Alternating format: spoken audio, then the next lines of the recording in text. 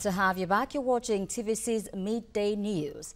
24 persons, mostly women and children, were on Monday killed in a fresh crisis at Omusu Edimogu in the Okpokwu local government area of Benue State. The council chairman, Olofu Oguche, stated this while conducting the state governor Samuel Ortom around the affected community on Tuesday. And I have in the studio with me a public affairs analyst, Yemi Saka, to share his thoughts on this very latest development. Thank you for joining me. It's nice to be here. Well, um, you know about the president going um, to these um, crisis-prone states, and he has been to Taraba State. Um, he's planning to go to Benue State. But in spite of this, these herdsmen are still attacking. So if the president of the country can warn against um, reprisal attacks and this continues to happen, what do you say about these herdsmen? Well, uh, let's let's get this fact straightened out, and it's like there's something, there's a constant um, factor, recurring factor in these killings over the time. Yeah, herdsmen. People will tell us that we should stop stereotyping, if there's a word like that, Fulani as a tribe, say Indeed. Fulani herdsmen. But I've never seen an Igbo man, an Igala man, a Yoruba man, or an Efik man who is a header. Mm the, the common header you see around is a Fulani man. Indeed. So it's very bad for us to say Fulani headsmen. And it's so sad because you always have these chains of killings and reprisal killings if justice doesn't seem served.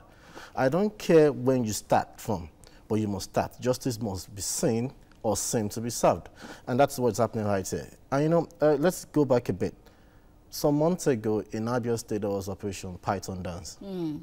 to restore, restore sanity in that region and probably deal with the threats of um, IPOB.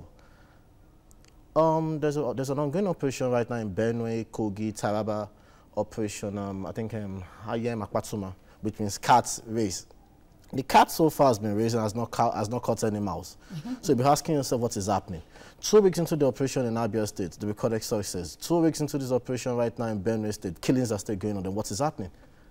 Well, 24 people were killed just this Monday, you yeah. know, and then there's going to be a mass burial for them tomorrow. That's Friday. Um, this will be the second mass burial taking place in Benue State. What is the significance of mass burials? Well, I, I think from, from a layman perspective is to halt the spread of epidemic, you have to deal with these cops on time and, you know, dispose them honorably and give them a decent burial as human beings. But it's so sad that Benue State, I think, I think it's three times now they're having mass burial. Mass burials? And mass burials, and it's, it's so disheartening for a commander-in-chief to sit down somewhere and tell us he, he receives intelligence reports daily and this killing killings is still going on. That means is that the report, intelligence reports receiving is faulty or is not acting well enough?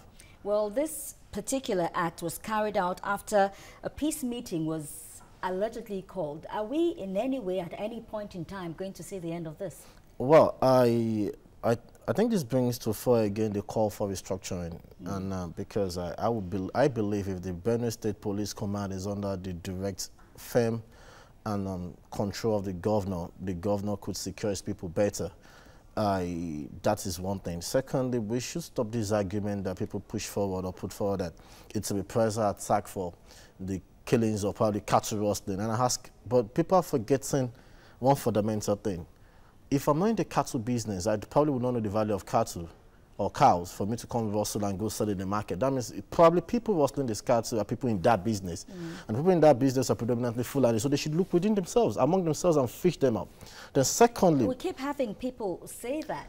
I know. There's another, there's another offensive argument they put forward that because they have to be present attacks for their cattle, I don't see who value a cattle life more Over than human, human, human life. life. That is one. The secondly, that is not the root cause. I cannot cultivate my farmland for six months, nine months.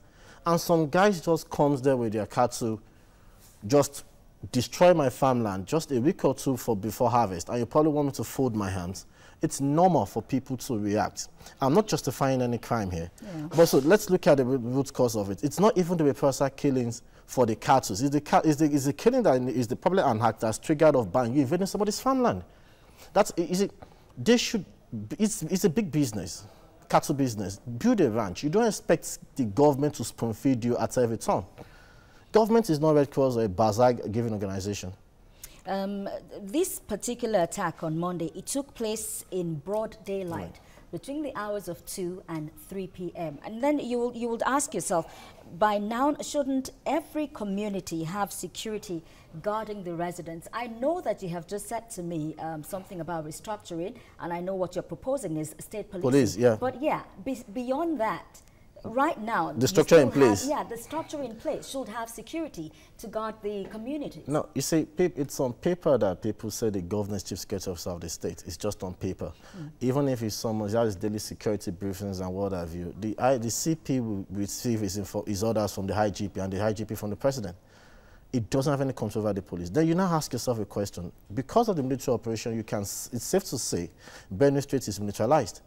So how come an attack broad daylight and no security presence before it, before it, it happened or while it was happening to curb it or deal with it or contain it. And very quickly now, this senseless and very audacious killing, um, cows are maimed and then human beings are killed. Uh, uh, what emboldens these herdsmen and why haven't they been apprehended? Because they've been they've been treated like special ones in this country. I, there were times that um, some statement was credited to the Miyetti Allah and still working in Freeman. Mm. In a, my choice of in a sense society and a government that means business, the guy will be behind bars. And Miyetti Allah and Proudly Fulani will be classified as terrorist organization. Mm. Simple. Yemi Saka, public affairs analyst, thank you for joining me on TVC Midday. You're welcome.